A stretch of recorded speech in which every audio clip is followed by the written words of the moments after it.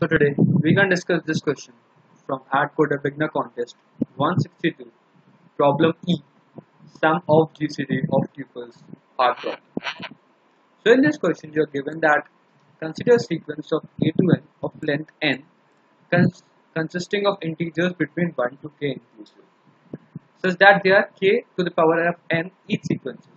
Find the sum of the GCDs of such sequences over all of them since the sum can be enormous, print the value of print the value of the sum mod this, and GCD is the uh, like of this sequence is the greatest common divisor of all the integers in the sequence. Okay, so what we have given is n and k. So what they are telling is you have a sequence of n integers so that you can take so in this n is 3 so take 3 places. And k can go from 1 to 2 so 1 and 2 because it can go from 1 till k and k is 2 so we can take it from 1 to 2 and we have to fill these positions with these numbers and find out every possible sequence. So if let it be k. So there are k positions here k positions here k positions here and there it is up to n so total possible sequences is k to the power n. So that's the that is given in the question k to the power n are possible sequences. And you have to find out the gcds of such sequences. Okay. So you, we can only see the example of this. We can put 1 1 1 here and the gcd is 1 then 1 1 2 1 2 1 and so on. Okay but for large numbers it's not very easy. So we can develop a logic here. We can count out the number of sequences and bundle them which has the same GCD I mean the GCD can be 1 2 3 4 so on of any number of sequences. So let's assume there are x1 sequences which has GCD x because the total of k to the power n sequences of them x1 sequences has gcd equal to 1 then x2 sequences has gcd equal to 2 and so on. So we can just multiply them. That's the final answer. And do the sum of over all of them and print the answer. That can be done easily. But how we can find out which sequences have gcd is equal to 1 or gcd equal to 2 okay so if we have a sequence of A1, A2, A1, A2 and so on till AN, this sequence has a GCD of let's say like 2 if all of them are divisible by 2 because if everyone is divisible by 2 the greatest common divisor is 2 okay. So how many sequence are such that it is only divisible by 2 only. So if there are n numbers, if there are n numbers and so we have a total possibilities that the number in these n positions can be from 1 to k. Okay, so if I have n numbers and we want to find out the number of uh, sequences which has GCD equal to let's say 2 so if I divide k divided by 2 to the power of n. So how I come up with this? Because there are k number because there are k positions. And the number can be from 1 to k. Okay let's assume we have we can put here numbers such that I can put here numbers from 1 to 50 1 2 3 and so on till 50 and I want to find out how many numbers are there which can divide by 2 so if I divide 50 by 2 it means we are jumping at a distance of 2 4 6 and so on. So there are 25 numbers which are divided by 2 so if I put these numbers 25 numbers in this sequence so that if I put 2, 4, 2 in this in this sequence then the sequence is guaranteed to be divisible by 2. I hope you understand this logic. Because in these n positions in this n positions we want to put numbers such that every number is divisible by 2 and how many numbers are there? Because we can put only numbers from 1 to k. And there are 25 numbers which are divisible by 2 so if we put only these 25 numbers then it is guaranteed that every number is divisible by 2 and for each position we can put these numbers. So k 25 numbers for this position 25 numbers for this position 25 numbers for this position. So 20 25 to the power k are a total number of sequences. 25 to the power of n are a total number of sequences which has GCD equal to 2 okay. But there's a slight twist in here in this we have also counted all the sequences which can have GCD equal to 4 or GCD equal to 6 or and so on. But why? Because if we take let's assume 4 here and 8 here and 4 here and n is equal to 3 this is also included in when we are counting in for 2 but when we do a count for 4 also this is again counted so why do we count it in 2? Because we are again counting in 4. So what we can do is we can subtract these numbers from 2. You will be better much clear in the code when I go through. But this is a simple logic. We will first find out this k divided by i to the power of n where i goes from k to 1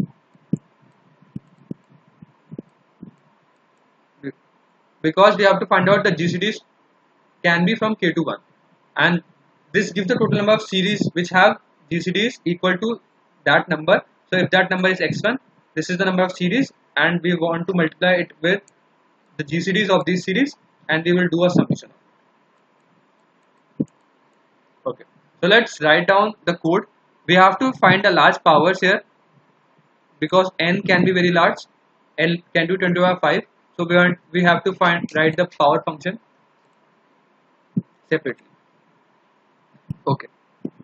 So this can be do done using a dp solution. So what we will do in the start is we will take the input of n and k and we will do everything in long long long, long because that will be much cheaper. Okay. Then what we will do is we will iterate over from k i equal to k. i is less than equal to 1 i minus minus. Sorry i is greater than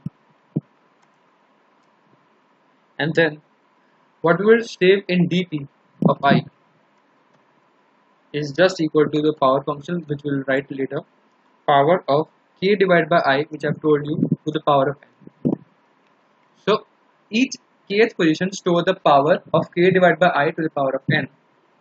But we will also have to subtract all those because we are moving from back to forward, back back to front in the number series. We will we are storing it for the k positions because k is the maximum GCDs which is possible. Okay, so then what we have to do is So if we have done it done for 2, we have find out all the series for 2.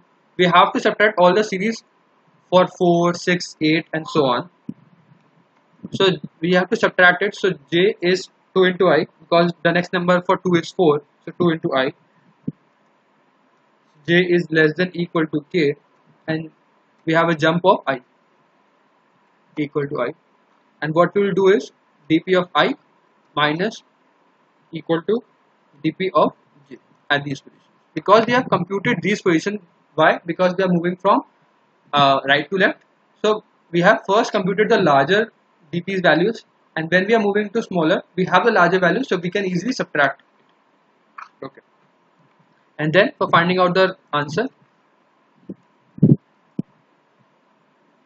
long long answer is equal to 0 for int i equal to 1 i less than equal to k. Because now we have the values the GCD values can go from 1 equal 1 to k. And for and we have stored find out how many sequences are there. So the answer will be just answer plus equal to answer of dp of i. dp of i store the sequence length into i because i is the GCD of that sequence into the sequence length. We'll do a mod of it and we also do a whole mod of it. And we just cout answer and we can also do a mod here again but it is not possible like necessary we can also do a mod here. Now we have to just write this power function and enter dp array okay. And also write the constant. I'll, I'll tell you a very simple way to write this power function. I've seen most people struggle in the contest to write this function. Constant mod is equal to 1 e9 plus 7 and uh, we can initialize our dp because it's 10 to the power 5 3, 4, 5 so how we can write that power function is we can return long long power we can take input of a and b. So i hope you know uh, uh, exponential functions or exponential how to find exponential power of a to the power b. So i can tell you some basic So if you if you want to find out a to the power of b and b is an even number, so that we want to find out 2 to the power of 4, what we can do is we want to we can find out 2 to the power of 2 and 2 to the power of 2 if you multiply them it is 2 to the power of 4. So why do we compute this again and again? So we just compute this and because it is again a 2 to the power the power is mod 2 so we just compute 2 and 2 to the power 1 to the power 1 we just compute this multiply this again and find out this answer. Because we know this answer we multiply this two times and we find out this answer. Okay. And if it's odd we'll do 2 into we multiply 2 separately and make it a 2, 2 to the power. So if it's 2 to the power 3 we will find out 2 and 2 to the power 2 and now it becomes even so we'll do a exponential okay. so if b the power 1 this is a to the power b. So if b is equal to 0 it means a to the power 0 which means it should return only 1 if b is equal to 1 a to the power 1 so it should return only a. So a into 1 long now now if b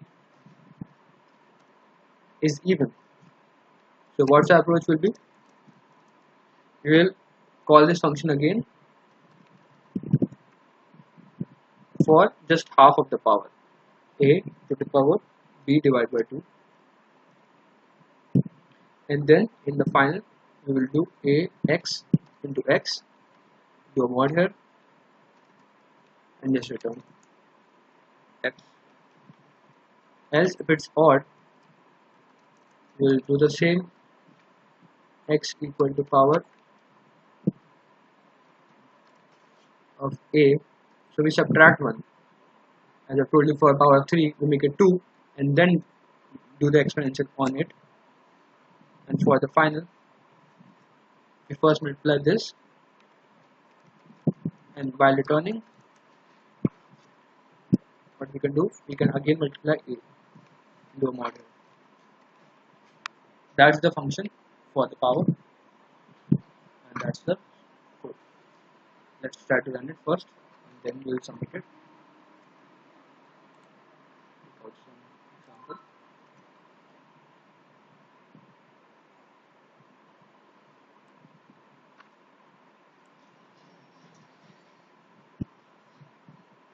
line 27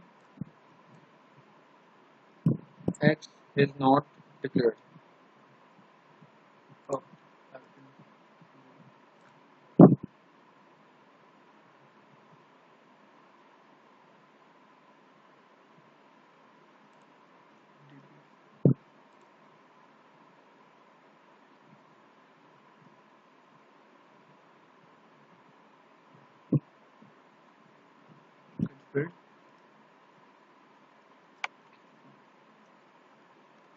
filled hmm, 16 as answer. Okay. There's some problem. Let me first check it. Yeah so find out the mistake. Actually I have also put a plus sign here while I'm also adding answer here. So it's just answer. Because answer plus we can also add answer plus equal to but I'm using answer here also again. So don't have to put plus here. The super code is correct. Just give me my answer. Let's submit it